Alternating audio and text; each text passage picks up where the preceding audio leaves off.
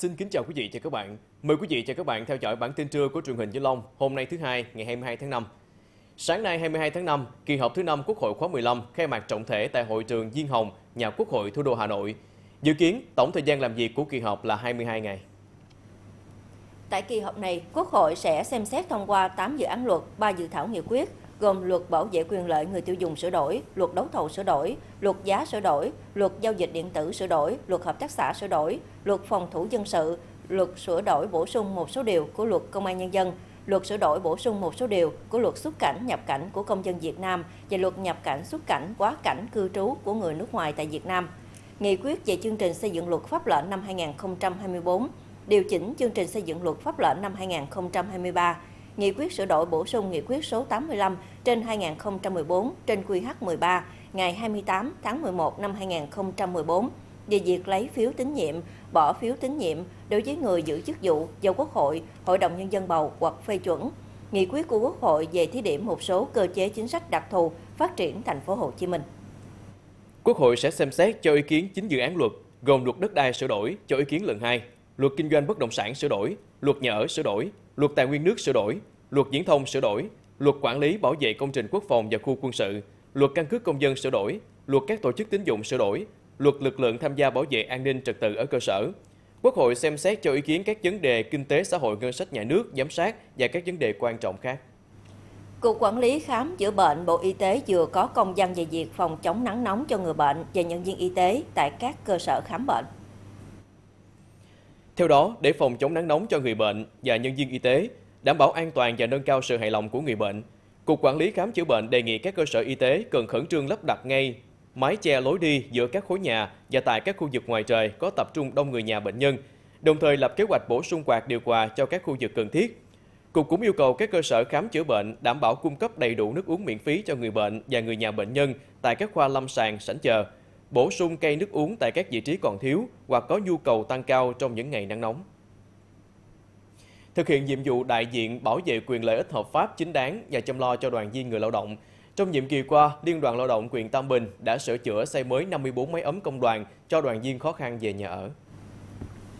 Để đoàn viên người lao động có được căn nhà tươm tất, yên tâm làm việc và có điều kiện dương lên trong cuộc sống, hàng năm Liên đoàn Lao động huyện Tam Bình đều thực hiện dược từ 50 đến 100% chỉ tiêu xây dựng máy ấm công đoàn trên giao. Trong nhiệm kỳ từ năm 2015 đến năm 2023, Liên đoàn Lao động huyện đã hỗ trợ sửa chữa xây mới 54 máy ấm công đoàn cho đoàn viên khó khăn về nhà ở trong huyện với tổng kinh phí trên 2,2 tỷ đồng từ nguồn quỹ xã hội Liên đoàn Lao động tỉnh và Liên đoàn Lao động huyện vận động các nhà hảo tâm và doanh nghiệp hỗ trợ.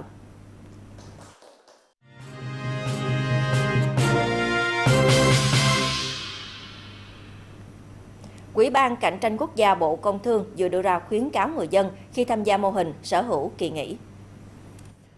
Thời gian qua, nhiều người tiêu dùng khi tham gia mô hình sở hữu kỳ nghỉ phản ánh không được hưởng đúng quyền lợi như bên cung cấp dịch vụ đã cam kết. Quỹ ban cạnh tranh quốc gia khuyến cáo người tiêu dùng trước khi tham gia sở hữu kỳ nghỉ cần tìm hiểu thông tin bên cung cấp, yêu cầu cung cấp đầy đủ hợp đồng và xác định rõ toàn bộ các chi phí phải đóng trong thời gian hợp đồng.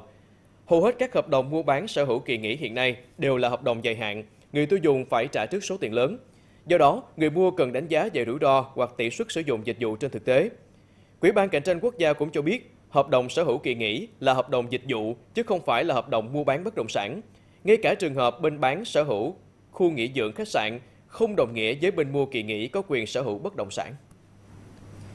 Thưa quý vị, Ban chỉ đạo điều hành cung cấp điện tỉnh Vĩnh Long vừa có công văn yêu cầu các đơn vị sở ngành trên địa bàn tỉnh tăng cường công tác truyền thông đến các tổ chức, cơ quan doanh nghiệp và người dân về việc thực hành tiết kiệm điện. Phấn đấu trong năm 2023, tỉnh Vĩnh Long tiết kiệm từ 2,1% trở lên lượng điện thương phẩm, với tổng lượng điện tiết kiệm khoảng 25,5 triệu kWh.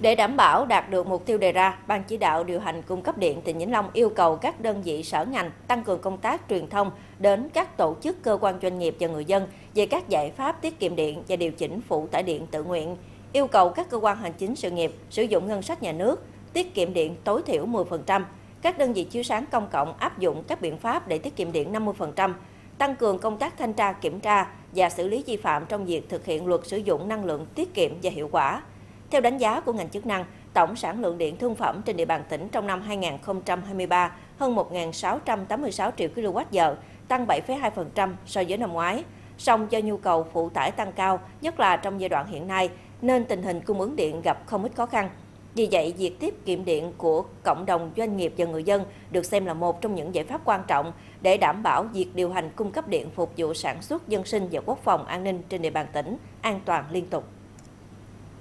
Theo Trung tâm Dự báo Khí tượng Thủy văn Quốc gia cho biết là từ nay đến ngày 31 tháng 5, xâm nhập mặn ở đồng bằng sông Cửu Long có xu thế giảm dần. Độ mặn phổ biến tại các trạm ở mức cao hơn so với độ mặn cao nhất tháng 5 năm 2022. Cảnh báo cấp độ rủi ro thiên tai do xâm nhập mặn ở đồng bằng sông Cửu Long cấp 1, cấp 2.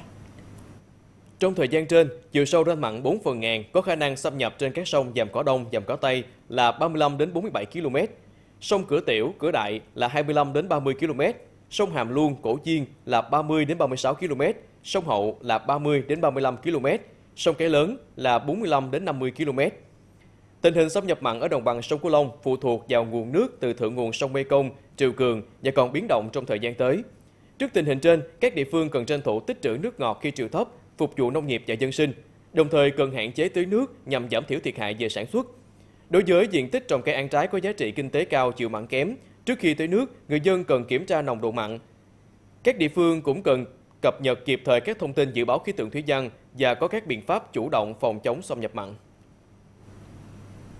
Thưa quý vị và các bạn, thời gian qua, Ngân hàng Chính sách Xã hội tỉnh Vĩnh Long phối hợp cùng tỉnh đoàn triển khai thực hiện quỹ thác nguồn vốn từ Trung ương đoàn hỗ trợ các đề án khởi nghiệp của thanh niên trên địa bàn. Nguồn vốn được chuyển tải kịp thời đã trở thành điểm tựa giúp thanh niên phát triển kinh tế hiệu quả. Chị Quỳnh Thị Ngọc Ngân, bí thư chi đoàn khóm 2, phường Thành Phước, thị xã Bình Minh. Tháng 3 năm 2023, chị được Ngân hàng Chính sách hỗ trợ vay vốn 100 triệu đồng thực hiện đề án khởi nghiệp mở tiệm photo kết hợp kinh doanh văn phòng phẩm. Với vị trí thuận lợi gần trường học cùng các cơ quan hành chính, cơ sở kinh doanh của chị Ngân, dù chỉ mới hoạt động chưa lâu, nhưng bước đầu đã mang lại hiệu quả. Vay được à, trăm triệu, à, mua thêm máy với lại à, lấy thêm vật gia dụng à, để à, buôn bán. Được à, sự quan tâm giúp đỡ và hỗ trợ à, vốn để phát triển mô hình, tăng thêm thu nhập. Thanh niên được hỗ trợ vay vốn của Ngân hàng Chính sách Xã hội cần có đề án khởi nghiệp tiềm năng hoặc đang có mô hình sản xuất mang lại hiệu quả kinh tế cần vốn để phát triển mở rộng. Như hợp tác xã Mekong Green của đoàn viên Nguyễn Trọng Nghĩa là mô hình khởi nghiệp làm nông nghiệp công nghệ cao được thành lập từ năm 2019. Hợp tác xã hiện đang tập trung sản xuất dưa lưới trong nhà kính và sử dụng hệ thống tưới thông minh, mỗi năm cung cấp ra thị trường khoảng 45 tấn dưa. Với quy trình sản xuất hiện đại, tuân thủ các tiêu chuẩn an toàn, sản phẩm của hợp tác xã có thị trường tiêu thụ ổn định. Nhờ với anh em trên ờ, tỉnh đoàn cũng như là các ngành chính sách hỗ trợ như thế này rất là phấn khởi. Có thêm mình những lòng tin, có thêm cái động lực để mình cố gắng trong thời gian tới. Số vốn vừa qua thì cũng là cái điều kiện thuận lợi để cho hợp tác xã phát triển. Rất kỳ vọng vào các cái mô hình để để sau này phát triển. Một là phát triển kinh tế cá nhân của đoàn viên chủ mô hình, hai là giúp cho giải quyết công an việc làm tại địa phương, tạo điều kiện để cho các bạn đoàn viên tiếp cận cái nguồn vốn để ngày càng mở rộng cái mô hình. Ngay từ khi nhận được nguồn vốn quỹ thác từ Trung ương đoàn, Ngân hàng Chính sách Xã hội tỉnh đã phối hợp cùng tỉnh đoàn ra soát, lập danh sách các đoàn viên thanh niên có nhu cầu về vốn, kịp thời hướng dẫn hồ sơ thủ tục và tiến hành giải ngân đúng quy trình. Kết quả từ đầu năm đến nay, Ngân hàng Chính sách Xã hội tỉnh đã giải ngân 1 tỷ 50 triệu đồng cho 12 đoàn viên thanh niên phát triển sản xuất.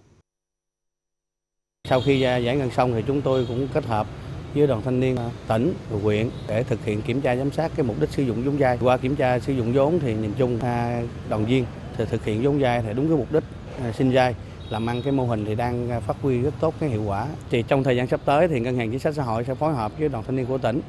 để xây dựng cái, cái các cái đề án cho vay đối với thanh niên à, khởi nghiệp. Nguồn vốn vay ưu đãi được hỗ trợ kịp thời đã giúp các mô hình khởi nghiệp của đoàn viên thanh niên trên địa bàn tỉnh phát huy hiệu quả không chỉ cho bản thân mà còn tạo việc làm, tăng thu nhập cho lao động tại địa phương. Qua đó đóng góp vào sự phát triển kinh tế chung của tỉnh.